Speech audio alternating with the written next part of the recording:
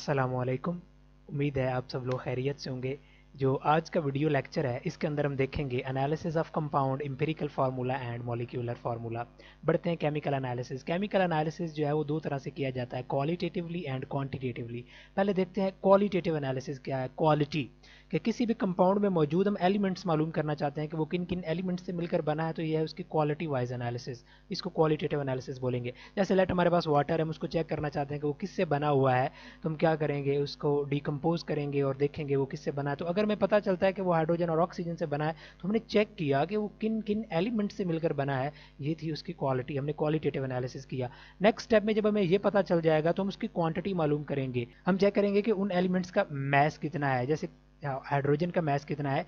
Oxygen का mess कितना है? अगर हम मैसेज को मालूम करेंगे तो ये है क्वांटिटेटिव एनालिसिस हम क्वांटिटी चेक करेंगे। अगर हमें कोई कंपाउंड दिया गया है, उसके अंदर हम किसी भी एलिमेंट की परसेंटेज मालूम करना चाहते हैं तो वो कैसे मालूम की जा सकती है?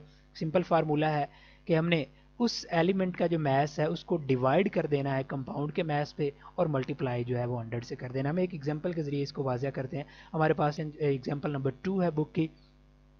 8.657 ग्राम जो है वो एक कंपाउंड है, उसको हमने बर्न किया है या डिकम्पोज किया है और जब वो टूटा तो उसके अंदर से 5.217 ग्राम्स कार्बन जो है वो हासिल हुई। 0.962 जो है वो हाइड्रोजन हासिल हुई और 2.47 ग्राम्स जो है वो हमारे पास ऑक्सीजन हासिल हुई। अगर हम इसमें से इसकी कंपोजिशन मालूम करना चाहते हैं परसेंटेज तो हम मालूम करेंगे पहले परसेंटेज ऑफ़ कार्बन कैसे मालूम होगी? सबसे ऊपर क्या लिखेंगे? Mass of carbon divided by mass of compound multiply by 100 तो मैस ऑफ़ कार्बन जो 5.217 मैस ऑफ़ कंपाउंड जो है, वो 8.657 और इसको मल्टीप्लाई करेंगे 100 से तो हमारे पास जो आंसर आता है वो है 60.28 तो जो कार्बन की परसेंटेज है वो 60 परसेंट है. इसी तरह जो बाकी दोनों एलिमेंट्स हैं, उनकी परसेंटेज आप खुद मालूम करेंगे. उनके जो मैस हैं, उनको डिवाइड करना है कंपाउंड के मैस पे और मल्टीप्लाई हंड्रेड से कर देना। नेक्स्ट है इंपेरिकल फार्मूला क्या है? इंपेरिकल फार्मूला जो है वो किसी भी कंपाउंड के अंदर जो एलिमेंट्स हैं, उनकी जो होल नंबर रेशो है सिंपलेस्ट होल नंबर रेशो जिसको मजीद सिंप्लीफाई ना किया जा सके, वो है इंपेरिकल फार्मूला जैसे ग्लूकोज का फार्मूला है C six H twelve O six अगर उसको सिंप्लीफाई करें तो वो बनता है सी एच टू ओ इस तरह बेंजीन का जो फार्मूला है, वो है सी सिक्स एच सिक्स अगर हम उसको सिंप्लीफाई करें तो वो मजीद बनता है सी एच तो जो सिंपलेस्ट रेशो है, ये हमें किसके बारे में बताती है? इंपेरिकल फार्मूला के बारे में बताती है। नेक्स्ट हैं कुछ स्टेप्स जो इंपेरिकल फार्मूला जिनके ज़रिए मालूम कर सकते हैं। सबसे पहली चीज़ कि आपने परसेंटेज कंपोजिशन मालूम करनी है कि जितने भी उसके अंदर एलिमेंट्स हैं, उनकी परसेंटेजेस क्या हैं। जो दूसरा स्टेप है, उसके अंदर हमने ग्राम एटम्स मालूम करने हैं। कैसे मालूम करेंगे ग्राम एटम्स ऐसे मालूम करेंगे जो हमारे पास परसेंटेजेस आएँगी, उनको हम डिवाइड करेंगे रिस्पेक्टिव एलिमेंट्स के मैथ पे। तीसरे स्टेप के अंदर हम उनकी एटॉमिक रेशो मालूम करेंगे। ये कैसे मालूम करेंगे? जितने भी एलिमेंट्स हैं, दो हैं, तीन हैं, हम तीनों के जो मैस में से कम मैस है, हम उस पर डिवाइड कर देंगे और उसके डिवाइड करने के पास जो बाद आंसर आएँगे, वो हमारे पास होंगे अटोमिक रेशो और अगर अटोमिक रेशो एक कंप्लीट नंबर होल नंबर है होल नंबर हो तो फिर तो उसको कुछ नहीं करना है, सच रहने देना है। अगर वो होल नंबर नहीं है तो उसको मल्टीप्लाई करना है किसी सूटेबल डिजिट से। ये चारों स्टेप्स आप याद कर लें। परसेंटेज कंपोजिशन नेक्स्ट स्टेप में ग्राम एटम्स तीसरे स्टेप में अटोमिक रेशियो और चौथे स्टेप में सूटेबल डिजिट से। ये हमें हर दफ़ा नहीं करना पड़ेगा सूटेबल डिजिट से मल्टीप्लाई करना। अगर वो होल नंबर ना हुआ तो फिर ही करना पड़ेगा। हम इन चारों स्टेप्स को जो है वो अप्लाई करते हैं एक एग्ज़ाम्पल के ऊपर। यहाँ पर एग्ज़ाम्पल नंबर थ्री आपकी बुक में एस्कॉर्बिक एसिड वाइटामिन सी अब यहाँ पर एग्ज़ाम्पल के अंदर सिर्फ़ एस्कॉर्बिक एसिड का ज़िक्र है तो इससे रिलेटेड भी आपको एमसीक्यूज आ सकता है ascorbic acid is known as vitamin A B C and D तो आंसर होगा वाइटामिन सी जो स्कॉर्बिक एसिड है, इसके अंदर 40.92 परसेंट जो है वो कार्बन है 4.58 परसेंट हाइड्रोजन है और 54.5 परसेंट जो है वो ऑक्सीजन है. तो इसका एम्पेरिकल फार्मूला जो हम कैसे मालूम करेंगे? पहला स्टेप क्या था? परसेंटेज कंपोजिशन तो यहाँ पर परसेंटेज कंपोजिशन तो दी गई है कार्बन की परसेंटेज भी गिवन है हाइड्रोजन की भी गिवन है और ऑक्सीजन की भी गिवन है। तो स्टेप वन जो है वो गिवन है। बढ़ते हैं स्टेप टू की तरफ़। जो नेक्स्ट स्टेप है, उसके अंदर हम देखेंगे उसकी जो ग्राम एटम्स की तादाद है। कैसे मालूम करेंगे? Percentage of carbon divided by mass of carbon percentage of hydrogen divided by mass of hydrogen percentage of oxygen divided by mass of oxygen अगर हम यहाँ पर हाइड्रोजन की बात करें तो उसकी जो परसेंटेज है वो 4.58 परसेंट और जो उसका मैस होता है वो है 1.08 पॉइंट इसको डिवाइड करें, जो आंसर आएगा वो है 4.54 इस तरह जो बाकी आंसर आ रहे हैं वो है 3.406 नेक्स्ट है 3.41 आपने इसको साथ साथ कैलकुलेटर के ज़रिए कैलकुलेट करना ताकि आपकी ग्रिप जो है वो ज़्यादा से ज़्यादा हो सके। जो इनके आंसर आएँगे, ये हमारे पास आ गए इसकी ग्राम एटम्स ग्राम एटम के बाद नेक्स्ट स्टेप क्या था? अटोमिक रेशो तो हम अगले स्टेप की तरफ़ बढ़ते हैं एटॉमिक रेशो हमने क्या कहा था कि जो इनमें से सबसे छोटा नंबर होगा, सबको उस पर डिवाइड कर देंगे। अब इनमें से जो छोटा आंसर है, वो three point four zero six तीनों को उस पर डिवाइड कर दें। जब तीनों को डिवाइड करेंगे तो जो हमारे पास रेशो आएगी, वो होगी one into one point double three और थर्ड जो है वो वन अब ये सारे जो हैं वो होल नंबर हैं या नहीं है? इनमें से एक जो है वो फ्रैक्शंस में बाकी दोनों होल नंबर है. इसका मतलब है अब हमें चौथा स्टेप अप्लाई करना पड़ेगा. हमें इसे होल नंबर बनाने के लिए किसी सूटेबल डिजिट से मल्टीप्लाई करना पड़ेगा. तो अगर वन के बाद पॉइंट डबल थ्री आए तो उसको अगर मैं थ्री से मल्टीप्लाई करूँ तो वो थ्री थ्री जो थर्टी थ्री है, वो नाइन्टी नाइन तक पहुँच जाएगा तो पॉइंट जो है, वो ख़त्म हो जाएगा। अगर यहाँ पर वन पॉइंट टू फाइव आए तो फिर हम फोर से मल्टीप्लाई करेंगे तो वो twenty five twenty five twenty five मिलकर हंड्रेड बना देंगे। तो इसीलिए अगर आपके जो मोस्टली आंसर हैं, आपकी बुक के अंदर जो सोल्यूशन आएँगे, उनके अंदर आप देखेंगे कि वो किसी भी डिजिट के बाद या तो पॉइंट डबल थ्री आ रहा है, जब डबल थ्री होगा तो सूटेबल डिजिट हमारा थ्री बनेगा। अगर वो पॉइंट टू फाइव आ रहा है तो उसको सूटेबल डिजिट हमारा फोर बनेगा। अगर वो वन पॉइंट वन आ रहा है तो हमारा जो सूटेबल डिजिट है, वो उसमें टेन बनेगा। और इनको आप इस तरह मल्टीप्लाई करके जो है वो होल नंबर रेशो निकाल सकते हैं। अब होल नंबर बनाने के लिए हम इसको थ्री से मल्टीप्लाई करेंगे तो कार्बन जो है, उसकी तादाद थ्री हो जाएगी। जो हाइड्रोजन है, वो फोर हो जाएँगे। और जो ऑक्सीजन है, वो थ्री हो जाएँगे। तो इसका जो इम्पेरिकल फार्मूला है, वो है C three H four O three ये आपने याद रखना, इसी से रिलेटेड एंड पे मैं एक एम सी क्यूज़ पूछूँगा आप लोगों से। तो इसका जो इंपेरिकल फार्मूला बनता है वो C three H four O three हमने देखा। नेक्स्ट है empirical formula from combustion analysis ये तो था कि हमें परसेंटेजेस दी गई हैं। अगर हमें परसेंटेजेस भी खुद मालूम करनी पड़े तो कैसे करेंगे? हमारे पास एक मेथड है एनालिसिस का, उसको बोलते हैं कम्बस्टन एनालिसिस उसके ज़रिए हम परसेंटेजेस खुद भी मालूम कर सकते हैं। तरीका कार कुछ यूँ है जो ऑर्गेनिक कंपाउंड है, जिनके अंदर कार्बन हाइड्रोजन और ऑक्सीजन होता है। जब उनको बर्न किया जाता है तो दो प्रोडक्ट्स बनती हैं कार्बन डाइऑक्साइड एंड वाटर इसका एनालिसिस करेंगे। एनालिसिस के लिए हम क्या करेंगे? हम एक कम्बस्टन ट्यूब जो है, उसके अंदर वेट सैंपल हम पहले वेट कर लेंगे, फिर उस सैंपल को रखेंगे और फर्नेंस जो है, उसके अंदर रख देंगे। इलेक्ट्रिकल फर्नेंस जो है, उसको हीट देगी तो वो गर्म होगा, उसकी कम्बस्टन स्टार्ट हो जाएगी। कम्बस्टन के बाद जो नेक्स्ट टावर होगा, वो होगा वाटर एब्जॉर्बर जो हाइड्रोजन है, वो कन्वर्ट हो जाएगी वाटर के अंदर, जो कार्बन है, वो कन्वर्ट हो जाएगी कार्बन डाइऑक्साइड के अंदर। तो जो हाइड्रोजन वाटर में कन्वर्ट हुआ है तो वाटर एब्जॉर्बर लगा के वाटर को एब्जॉर्ब कर लेंगे और नेक्स्ट कार्बन जो है कार्बन डाइऑक्साइड में कन्वर्ट हुआ है, उसको कार्बन डाइऑक्साइड एब्जॉर्बर के ज़रिए जो है, वो हम एब्जॉर्ब करवा लेंगे। अब जो वाटर एब्जॉर्बर है, वो है मैग्नीशियम क्लोरेट और जो कार्बन डाइऑक्साइड एब्जॉर्बर है, वो है फिफ्टी परसेंट के ओ एच ये चीज़ें जब एब्जॉर्ब हो जाएँगी, बाकी रेजिडुअल चीज़ें जो होंगी, उनको अगले चैम्बर लास्ट चैम्बर के अंदर जो चीज़ें रिएक्ट नहीं करेंगी, वो उसमें चली जाएँगी। अब मालूम कैसे करेंगे? नेक्स्ट जो है मेथड है कि परसेंटेजेस मालूम कैसे करेंगे? हमने एक्सपेरिमेंट किया, हमारे पास कार्बन डाइऑक्साइड की भी वैल्यू पता चल गई वाटर की भी। कैसे? फ़र्ज़ करें आपकी जो ट्यूब जो थी वो फिट करने से पहले उसका मैथ था हंड्रेड और फिर उसके अंदर वाटर एब्जॉर्ब हो गया और उसका मैस बन गया 102 तो इसका मतलब है उसके अंदर 2 ग्राम्स जो है वो वाटर एब्जॉर्ब हुआ है। और इसी तरफ़ लेट कार्बन डाइऑक्साइड एब्जॉर्बर पहले था 100 ग्राम्स और फिर जब हमने एक्सपेरिमेंट कंप्लीट कर लिया तो उसके बाद जो उसका रिज़ल्ट आया वो था 105 तो इसका मतलब है पाँच ग्राम कोई चीज़ ऐड हो गई है और उसके अंदर था कार्बन डाइऑक्साइड एब्जॉर्बर तो वो कार्बन डाइऑक्साइड को एब्जॉर्ब करेगा। इसका मतलब इसके अंदर पाँच ग्राम जो है वो कार्बन डाइऑक्साइड एब्जॉर्ब हो गई है। तो इस तरह हम दोनों का जो है वो मैस जो है वो मालूम कर लेंगे। जब वाटर का भी मैथ पता है कार्बन डाइऑक्साइड का भी मैथ पता है तो उनसे फिर परसेंटेजेस कैसे मालूम की जाएँगी? परसेंटेज ऑफ़ कार्बन कैसे मालूम करेंगे? मैथ ऑफ़ कार्बन डाइऑक्साइड जो हमने मैयर किया है। Divided by mass of compound जब हमने स्टार्ट किया था एक्सपेरिमेंट तो शुरू में हमने क्या किया था? उसका मैथ जो है वो मैयर कर लिया था। उसका mass multiply by twelve over forty four twelve क्या है? मैथ ऑफ़ कार्बन है और फोर्टी फोर जो है वो कार्बन डाइऑक्साइड का कलेक्टिव मैथ बनता है। जब उसको हंड्रेड से मल्टीप्लाई करेंगे तो इस तरह हमारे पास आ जाएगी परसेंटेज ऑफ़ कार्बन और हाइड्रोजन के लिए क्या करेंगे? मैस ऑफ़ वाटर जो हमने वाटर एब्जॉर्बर के ज़रिए मालूम किया।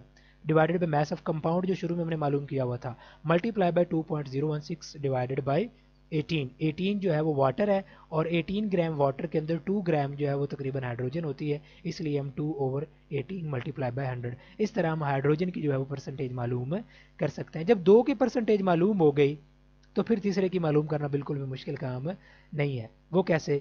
अगर मैं कहूँ कि जो हाइड्रोजन की परसेंटेज आई है, वो है 80 परसेंट लेट और कार्बन की परसेंटेज है टेन परसेंट तो कितना हो गया? नाइन्टी पीछे कितनी रह गई? टेन परसेंट तो वो ऑक्सीजन की होगी। इसको बोलते हैं डिफरेंस मेथड हम दोनों को जमा कर लेंगे हंड्रेड में से माइनस कर देंगे तो इस तरह हमारे पास ऑक्सीजन की जो है वो वैल्यू आ सकती है। ऑक्सीजन की परसेंटेज जो है वो डिफरेंस मेथड के ज़रिए मालूम करेंगे। तो इम्पेरिकल फार्मूला मालूम करने का पहला स्टेप जो था percentage of carbon hydrogen and oxygen अगर तो वो हमें स्टेटमेंट में दी गई है तो वेल एंड गुड नहीं तो फिर हमें केमिकल एनालिसिस जो है वो करवाना पड़ेगा. कम्बस्टन एनालिसिस के ज़रिए हम परसेंटेजेस मालूम कर सकते हैं। इसी से रिलेटेड हम एक एग्ज़ाम्पल देखते हैं कि हमने कंबस्टन एनालिसिस करवाया हाइड्रोजन वाटर में कन्वर्ट हो गया कार्बन कार्बन डाइऑक्साइड में कन्वर्ट हो गई, और जो हमने वेड सैंपल रखा था, उसका जो मैथ था, वो भी गिवन है। इसके ज़रिए हम इम्पेरिकल फार्मूला जो है, वो ओवरऑल मालूम करेंगे। जो वैल्यूज़ गिवन है, इनको हम देखते हैं। पहले मालूम करेंगे परसेंटेज ऑफ़ कार्बन परसेंटेजेस मालूम करेंगे परसेंटेजेस के बाद नंबर ऑफ़ ग्राम एटम्स मालूम करेंगे, फिर अटामिक रेशो और एंड पे अगर वो होल नंबर है तो वेल एंड गुड नहीं तो सूटेबल डिजिट से मल्टीप्लाई कर लेंगे। तो कार्बन डाइक्स कार्बन की जो परसेंटेज यहाँ पर आती है वो है fifty two point one zero eight method वही है कि आपने जो कार्बन डाइऑक्साइड का मैस है उसको कंपाउंड के मैस पे डिवाइड करना है मल्टीप्लाई बाय जो 12 कार्बन का मैस है डिवाइडेड बाय 44 जो कार्बन डाइऑक्साइड का मैस है मल्टीप्लाई बाय 100 कार्बन की परसेंटेज है वो है 52.108 और जो हाइड्रोजन की परसेंटेज है, वो है 13.11 ऑक्सीजन को आप डिफरेंस मेथड से निकाल लें तो वो बनती है 34.77 तो इस तरह तीनों की परसेंटेजेस जो है, वो आपने मालूम कर लेनी है। फार्मूला हमने पहले पढ़ लिया है। जब वो परसेंटेजेस मालूम हो जाएँगी तो अगला स्टेप क्या है, हमने ग्राम एटम्स मालूम करने कैसे करेंगे? कार्बन की परसेंटेज को कार्बन के मैस पे हाइड्रोजन की परसेंटेज को हाइड्रोजन के मैस पे और ऑक्सीजन की परसेंटेज को ऑक्सीजन के मैस पे। और नेक्स्ट जो है वो हमने अटोमिक रेशो मालूम करनी है। जो अटोमिक रेशो है, वो कैसे मालूम होती है? इन तीनों में से जो सबसे छोटा आंसर आएगा, तीनों वैल्यूज़ को उस पर डिवाइड करने। जो सबसे छोटा आंसर था, वो था 2.17 तीनों को 2.17 पे जो डिवाइड कर दें तो आपका आंसर आएगा। पहले का टू आ जाएगा, यानी कार्बन के टू एटॉमिक रेशो आएगी हाइड्रोजन की सिक्स आएगी और ऑक्सीजन की वन आएगी। तो इसका जो इम्पेरिकल फार्मूला होगा, वो होगा C two H six O next है मॉलिक्यूलर फार्मूला मॉलिक्यूलर फार्मूला जो है, ये एक्चुअल मॉलिक्यूल बेस्ड होता है। इसके अंदर हमें टोटल एटम्स जो हैं, वो बताए जाते हैं। अगर किसी के अंदर 100 एटम है तो हम 100 ही लिखेंगे, हम उनको सिंपल नहीं करेंगे। जो ग्लूकोज का चेक किया जाए तो उसके अंदर 6 कार्बन 12 हाइड्रोजन और छः ऑक्सीजन होते हैं। तो उसका जो फॉर्मूला बनता है वो सी सिक्स एच ट्वेल्व वो सिक्स सर, अगर हम बेंजीन की बात करें तो उसके अंदर छः कार्बन होती हैं और छः हाइड्रोजन होते हैं। तो उसका जो मोलिकुलर फार्मूला है, जिसके अंदर एक्चुअल आइटम्स की तादाद है, वो है सी सिक्स एच सिक्स बहुत से ऐसे कंपाउंड भी हैं जिनका एम्पेरिकल फार्मूला और मोलिकुलर फार्मूला बिल्कुल सेम होता है। जैसे एच टू ओ है ये पहले ही सिंपलेस्ट है, इसको मजीद सिंप्लीफाई नहीं किया जा सकता। इसलिए इसका एम्पेरिकल फार्मूला भी यही है और मॉलिक्यूलर फार्मूला भी यही है। कार्बन डाइऑक्साइड है अमोनिया है इससे सुक्रोज है, या फ्रुक्टोज कह लें, ये जो शुगर्स हैं, इनका जो formula C twelve H twenty two eleven ये भी सिंपलेस्ट है, इसको मजीद सिंप्लीफाई नहीं किया जा सकता। तो यही इनके एम्पेरिकल फार्मूलाज हैं और यही इनके मॉलिक्यूलर फार्मूलाज हैं। अब अगर हमें एम्पेरिकल फार्मूला हमने कम्बस्टन एनालिसिस के ज़रिए मालूम कर लिया है फिर मॉलिक्यूलर फार्मूला कैसे मालूम करेंगे? बहुत सिंपल मेथड है।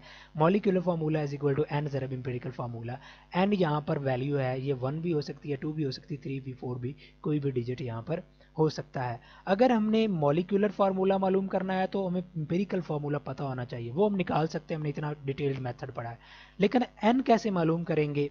एन के लिए अब हम देखते हैं एन जो है वो molecular mass divided by empirical formula mass तो जब भी आपको इससे रिलेटेड क्वेश्चन आएगा तो आपको मोलिकुलर मैस गिवन होगा, लेकिन एम्पेरिकल फार्मूला मैस जो है वो आप खुद मालूम करेंगे। वो कैसे मालूम करेंगे? इंपेरिकल फार्मूला अगर आपको मालूम है, वो आपने मालूम कर लिया है तो इंपेरिकल फार्मूला मैथ्स निकालना बिल्कुल आसान है। जैसे फ़र्ज़ करें हमारे पास एक कम्बस्टन एनालिसिस है, उसको एनालाइज किया हमने, उसमें कार्बन डाइऑक्साइड बनी वाटर बना, उसके ज़रिए हमने कार्बन की परसेंटेज मालूम की हाइड्रोजन की परसेंटेज मालूम की और ऑक्सीजन की परसेंटेजेस मालूम की। उनकी अटोमिक रेशो निकाली अटोमिक रेशो से अल्टीमेटली हम इंपेरिकल फार्मूला पे पहुँचे। जब ये सारे स्टेप हो जाएँगे तो वो आपने पहले पढ़ लिए हैं, वही आपने अप्लाई कर देने हैं। इसका जो इंपेरिकल फार्मूला आ रहा है, वो है C three H three O अब इम्पेरिकल फार्मूला से अगला स्टेप है इंपेरिकल फार्मूला मैस निकालना। अब हम इंपेरिकल फार्मूला मैस निकालते हैं। अब कार्बन का मैस कितना है? ट्वेल्व उसके एटम कितने हैं? इम्पेरिकल फार्मूला में थ्री थ्री को ट्वेल्व से मल्टीप्लाई करें। हाइड्रोजन कितने हैं? थ्री उसको उसके मैथ से मल्टीप्लाई करें। ऑक्सीजन कितने हैं? वन उसको उसके मैथ से मल्टीप्लाई करें। एंड पे तीनों को सम कर दें, जमा कर लें। तो हमारे पास ये जो मैथ आया ये चूँकि इम्पेरिकल फार्मूला से आया है तो ये है इसका इंपेरिकल फार्मूला मैथ इस इम्पेरिकल फार्मूला मैथ्स को आपने डिवाइड करना है मॉलिक्यूलर मैथ्स पे। आपका जो अगर डाटा आप देखें एग्जांपल फाइव के अंदर तो उसमें आपको जो मॉलिक्यूलर मैथ्स है, वो बता दिया गया है। इम्पेरिकल फार्मूला मैथ्स जो है, वो हमने खुद मालूम कर लिया है। तो हमारे पास जो एन की वैल्यू आएगी डिवाइड करने के बाद 110 डिवाइडेड बाय 55 तो हमारे पास जो एन की वैल्यू आई थी, वो थी टू तो टू को मल्टीप्लाई कर देंगे। अगर हम टू को मल्टीप्लाई करेंगे, पहले सी थ्री थे, अब कितने हो जाएँगे सिक्स अब ये टू को सबसे मल्टीप्लाई करना है। हाइड्रोजन जो है, वो पहले कितने थे? तीन, अब कितने हो जाएँगे छः और ऑक्सीजन पहले एक था, अब दो से मल्टीप्लाई होंगे तो वो कितने हो जाएँगे? टू तो इसका जो फॉर्मूला बनता है, वो है C six H six O two अब एक टेक्निकल क्वेश्चन है, आपने ज़रा सोच समझ के इसका जवाब देना है। हमने एस्कॉर्बिक एसिड वाइटामिन सी का एम्पेरिकल फार्मूला पीछे निकाला था, अगर आपको याद हो C three H four O three उसका जो मोलिकुलर फार्मूला होगा, वो क्या होगा? डाटा के बगैर इसको सॉल्व करना है। इसका आंसर देखते हैं। इसका आंसर है C six H eight O six वजह क्या है? हमने एम्पेरिकल फार्मूला निकाला, वो था C three H four O three अब हमने एन से मल्टीप्लाई करना है। एन जो है, वो या तो वन हो सकता है या टू हो सकता है। अगर वन हो तो वही इंपेरिकल होगा, वही मॉलिक्यूलर होगा। अगर वो टू है तो उसको हम सबको टू से मल्टीप्लाई करेंगे। अगर वो थ्री है तो सबको थ्री से मल्टीप्लाई करेंगे। अगर हमारे पास फॉर्मूला है C three H four O three उसको टू से मल्टीप्लाई करें तो क्या होगा? सी जो है वो टू टाइम्स इंक्रीज होकर सिक्स हो जाएगा। एच जो है वो एट हो जाएगा और ओ जो है वो सिक्स हो जाएगा। इसके अलावा कोई पॉसिबिलिटी नहीं है। टू से मल्टीप्लाई करेंगे तो ये आंसर आता है। अब बाकियों के अंदर देखिए अरेंजमेंट सारी बदल गई है। कार्बन छः है हाइड्रोजन छः है। लेट हमने उसे टू से मल्टीप्लाई किया तो हाइड्रोजन छः कैसे हो गया? इम्पॉसिबल अगर हमने टू से मल्टीप्लाई किया है तो इसे कितना होना चाहिए? एट होना चाहिए। तो इस तरह हम अगर देखें तो सिर्फ़ एक ही पॉसिबल आंसर बनता है और वो है C six H eight O six तो ये था आज का टॉपिक जिसके अंदर हमने जो है एनालिसिस के बारे में पढ़ा, किस तरह का होता है। फिर हमने इम्पेरिकल फार्मूला और इम्पेरिकल फार्मूला के डिटेल के अंदर कम्बस्टन एनालिसिस के ज़रिए उसको डिटर्मिन कैसे किया जाता है। अब जो लॉन्ग क्वेश्चन यहाँ से बन सकता है वो ये है कि how will you find empirical formula from combustion analysis तो पहले आपको कम्बस्टन एनालिसिस सारा लिखना है, फिर एंड पे इम्पेरिकल फार्मूला को डिटर्मन करने के जो स्टेप्स हैं वो लिख देने हैं। क्योंकि एनालिसिस के ज़रिए हमें परसेंटेज मिलेगी। परसेंटेज के बाद हम बाकी जो चीज़ें हैं वो मालूम करेंगे और इस तरह इंपेरिकल फार्मूला पता चल जाएगा। और एंड पे हमने देखा कि अगर हमें इंपेरिकल फार्मूला पता चल गया है तो फिर मोलिकुलर फार्मूला को कैसे मालूम किया जा सकता है? तो ये था आज का लेक्चर मिलते हैं अगले लेक्चर में। अपना ख्याल रखिएगा। अल्लाह हाफिज़।